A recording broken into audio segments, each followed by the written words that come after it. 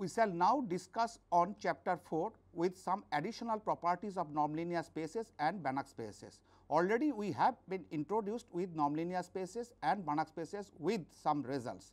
Here we shall put some basic results and further results on normed linear spaces and Banach spaces. Here we shall discuss on some geometric structure of some sets called convex sets on a linear space and a normed linear space. Also we shall introduce some equivalent norms on a normed linear space with some examples and some basic properties.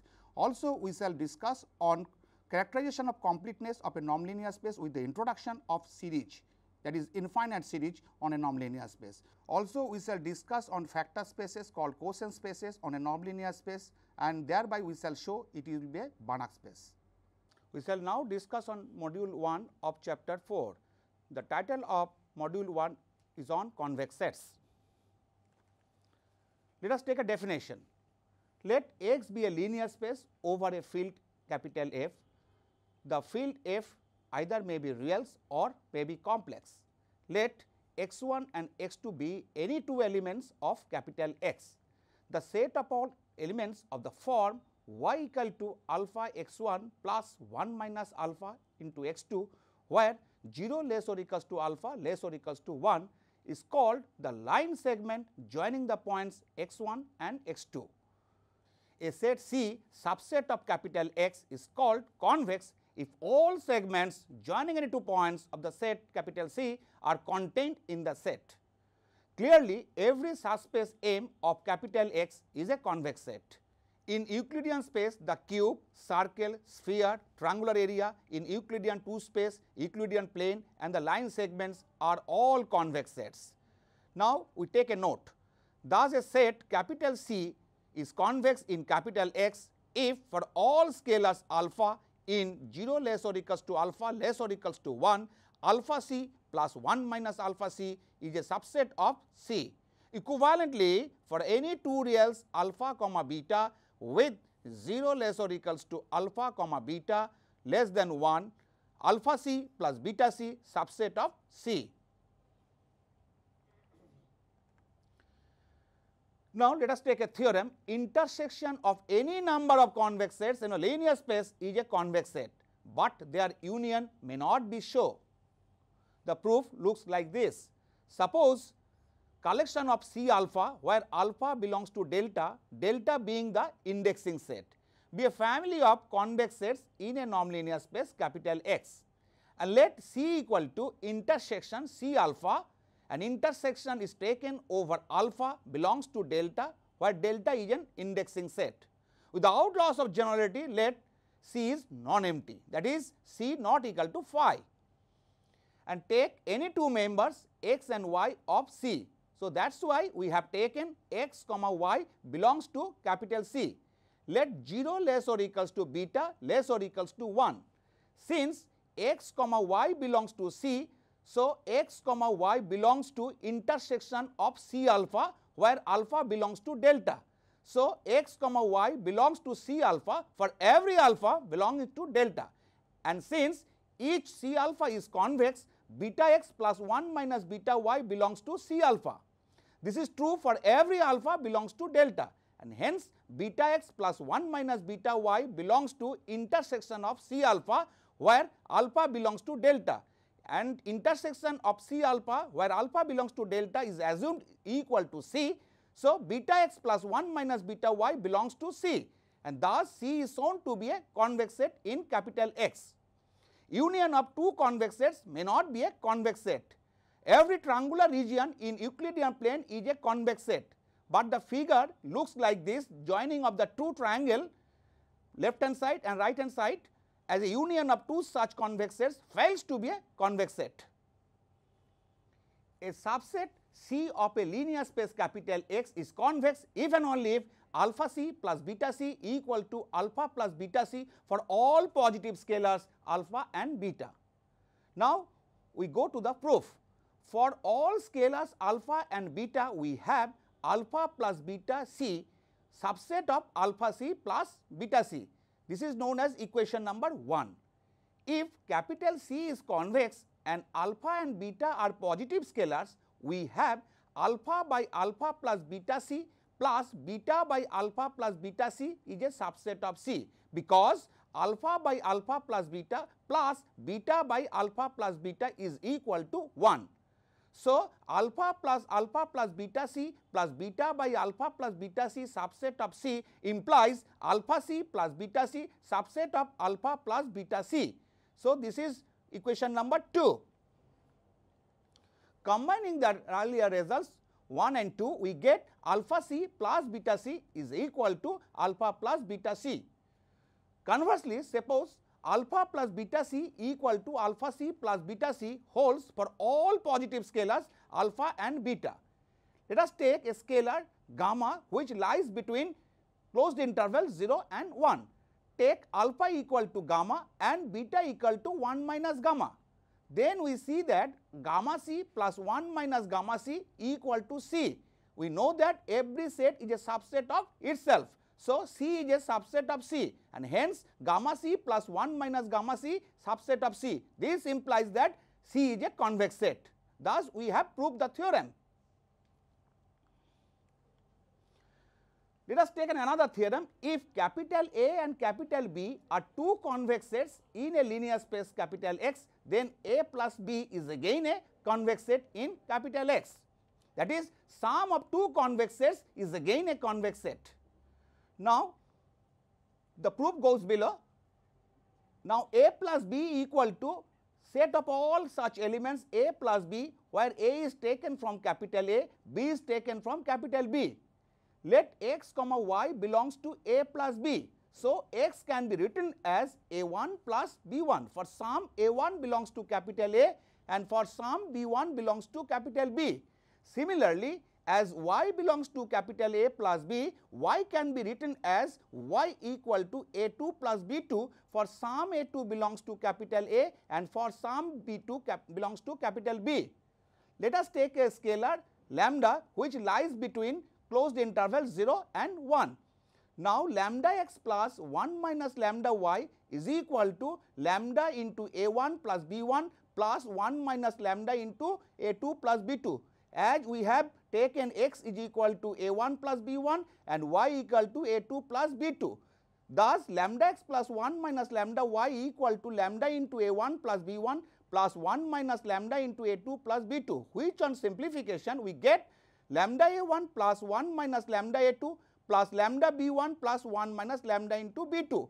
As A is convex and A1 A2 belongs to capital A, lambda A1 plus 1 minus lambda A2 belongs to capital A as B1 belongs to B, B2 belongs to B and B is convex. So, lambda B1 plus 1 minus lambda into B2 belongs to B. So, lambda A1 plus 1 minus lambda A2 plus lambda B1 plus 1 minus lambda B2 belongs to A plus B and hence it follows that A plus B is a convex set in capital X. If C is a convex set then for any scalar alpha, alpha C is also a convex set. That means product of any convex set by a scalar is again a convex set in a linear space. We know that alpha C is equal to collection of all such elements alpha C where C is taken from capital C. Let us take two elements x comma y belongs to alpha C as x belongs to alpha c and alpha c is the collection of all such elements alpha c where c belongs to capital C. So, x can be written as x equals to alpha c1 for some c1 belongs to capital C and y belongs to alpha c. So, y can be written as y equal to alpha c2 for some c2 belongs to capital C. Let us take a scalar lambda which lies between 0 and 1 that is the closed interval 0 and 1. Now, lambda x plus 1 minus lambda y is equal to lambda into alpha c1 plus 1 minus lambda into alpha c2 which is equals to alpha into lambda c1 plus alpha into 1 minus lambda into c2 which is equal to alpha into lambda c1 plus 1 minus lambda into c2. This belongs to C as C is convex because lambda c1 plus 1 minus lambda into c2 belongs to capital C. So, alpha c is a convex set in X. Let us take a theorem that is a sphere in a normed linear space is a convex set. Now, the proof goes below. We prove the theorem for a closed sphere.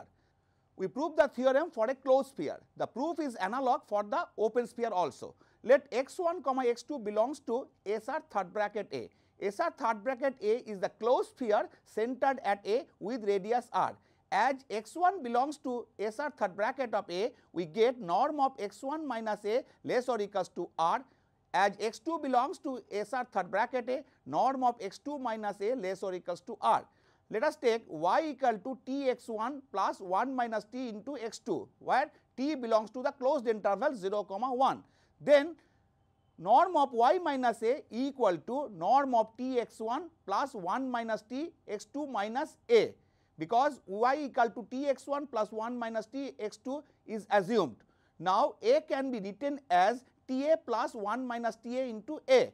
So, norm of t x1 plus 1 minus t x2 minus a is equal to norm of t x1 plus 1 minus t into x2 minus t a minus 1 minus t a into a which is less or equals to norm of t x1 minus t a plus norm of 1 minus t into x2 minus 1 minus t into a by the triangle inequality property of the norm axiom 3 which is again equals to t into norm of x1 minus a plus 1 minus t into norm of x2 minus a as norm of x1 minus a less or equals to r and norm of x2 minus a less or equals to r. So, we get t into norm of x1 minus a plus 1 minus t into norm of x2 minus a less or equals to tr plus 1 minus t into r which is equal to r. So, y belongs to SR third bracket A and hence SR third bracket A is a convex set. Let capital X be a normed linear space over a field capital F and K be a convex subset of capital X then the closure of K that is K bar is also a convex set. Now, we go to the proof if x comma y belongs to K bar that is the closure of K and let epsilon greater than 0 be arbitrary. So, there exists x1 comma y1 belonging to k such that norm of x minus x1 is strictly less than epsilon and norm of y minus y1 is strictly less than epsilon. Let us take an element t belongs to the closed interval 0 comma 1. Then norm of tx plus 1 minus t into y minus tx1 plus 1 minus t into y1 is less or equals to t into norm of x minus x1 plus 1 minus t into norm of y minus y1 by norm axiom property n3 which is again less than t epsilon plus 1 minus t into epsilon. This equal to epsilon. Since k is convex t into x1 plus 1 minus t into y1 belongs to capital K and because epsilon greater than 0 is arbitrary t x1 plus 1 minus t into y belongs to k bar showing that k bar is a convex set in a normed linear space capital X. Let us take another theorem let x be a linear space and k is a subset of x which is a convex set if x1 comma x2 comma dot dot dot xn belonging to capital K then all elements of the form alpha 1 x1 plus alpha 2 x2 plus dot dot alpha n xn where alpha i greater or equals to 0 with alpha 1 plus alpha 2 plus dot dot alpha n is equal to 1 and alpha 1 x1 plus alpha 2 x2 plus alpha n x n belonging to capital K.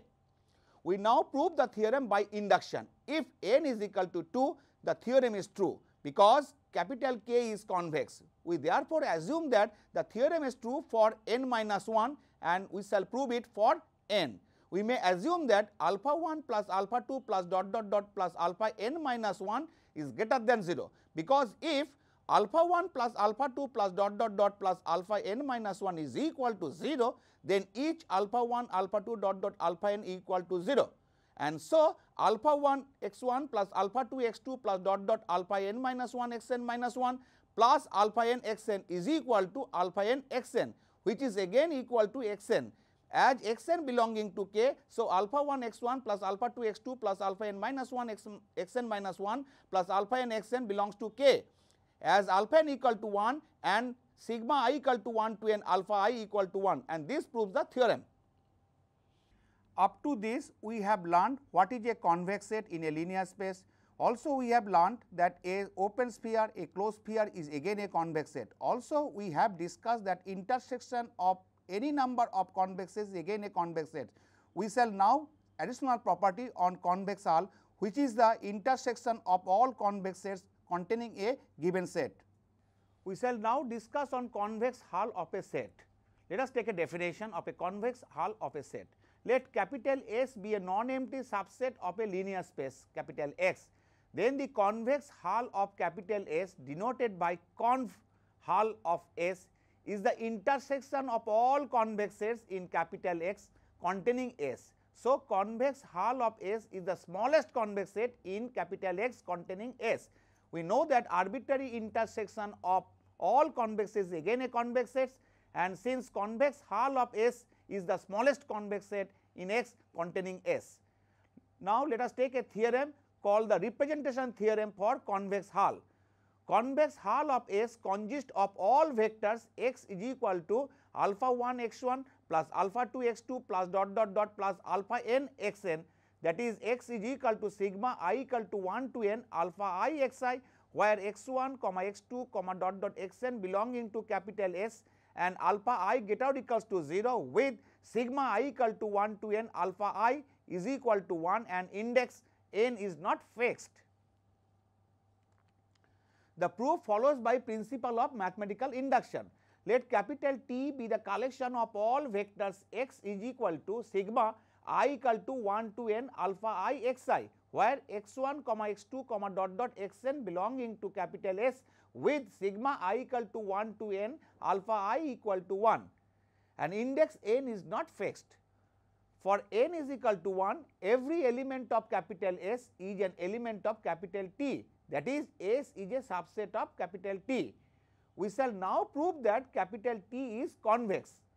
Let u comma v belongs to capital T where u is equal to sigma i equal to 1 to n alpha i x i where x 1 comma x 2 comma dot dot x n belonging to capital S and alpha i get out equals to 0 with sigma i equal to 1 to n alpha i equal to 1 and v equals to sigma i equal to 1 to m beta i x i where x 1 comma x 2 comma dot dot x m belonging to capital S and beta i get out equals to 0 and sigma i equal to 1 to m beta i equal to 1. Here n and m may be different or may be equal. Let 0 less or equals to gamma less or equals to 1 so, gamma u plus 1 minus gamma into v is equal to gamma into sigma i equal to 1 to n alpha x i plus 1 minus gamma into sigma i equal to 1 to n beta i x i because u is equal to sigma i equal to 1 to n alpha xi and v is equal to sigma i equal to 1 to m beta i x i which on simplification we get sigma i equal to 1 to n gamma alpha i x i plus sigma i equal to 1 to m 1 minus gamma into beta i x i. Now, gamma alpha i get out equals to 0 and 1 minus gamma into beta i get out equals to 0 for i equal to 1 to m and for i equal to 1 to up to n. But sigma i equal to 1 to n gamma alpha i plus sigma i equal to 1 to m 1 minus gamma into beta i is equal to gamma into sigma i equal to 1 to n alpha i plus 1 minus gamma into sigma i equal to 1 to m beta i which is again equals to gamma plus 1 minus gamma and that is equal to 1. So, gamma u plus 1 minus gamma into v belongs to capital T and it shows that capital T is convex and S is a subset of T and consequently convex hull of S is a subset of T. This is equation number 3. We shall now prove for the reverse inclusion relation that is T is a subset of convex hull of capital S. Let capital W be any convex set containing capital S. For n is equal to 1, every element of capital T is an element of capital S and consequently every element of T is an element of W. Let us consider that the result is true for n equal to m that is it is true for m number of elements. That is if x is equal to sigma i equal to 1 to m alpha i x i where x 1 comma x 2 comma dot dot x m belonging to capital S and alpha i get out equals to 0 where i equal to 1 to up to m with sigma i equal to 1 to m alpha i is equal to 1. then x is an element of capital W.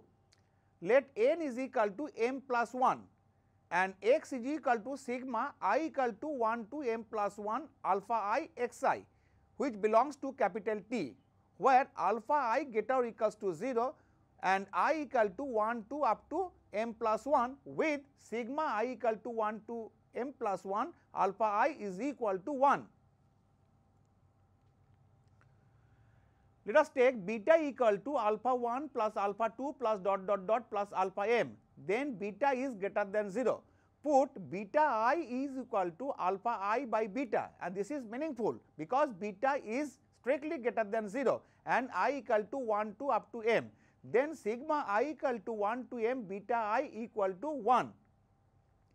Now x equal to alpha 1 x 1 plus alpha 2 x 2 plus dot dot dot alpha m x m plus alpha m plus 1 x m plus 1 is equal to beta into beta 1 x 1 plus beta into beta 2 x 2 plus dot dot dot plus beta into beta m x m plus 1 minus beta into x m plus 1 which is again equals to beta into within the first bracket beta 1 x 1 plus beta 2 x 2 plus dot dot dot plus beta m x m plus 1 minus beta into x m plus 1 this belongs to capital T and T is a subset of W as beta 1 x 1 plus beta 2 x 2 plus dot dot beta m x m belongs to capital W and x m plus 1 belongs to capital W and W is convex. So, x is equal to sigma i equal to 1 to m plus 1 alpha i x i belongs to capital W.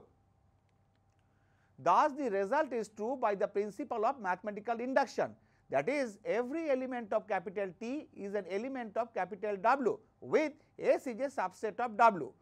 As W is arbitrary, it follows that T is a subset of intersection of all W where S is a subset of W that is T is a subset of convex hull of S and this is named as equation number 4. Combining 3 and 4 we get T equal to convex hull of S and the theorem is proved. In this module, we have learnt on some properties of convex sets, also convex hull of a set and we have also learnt the representation theorem for a convex hull.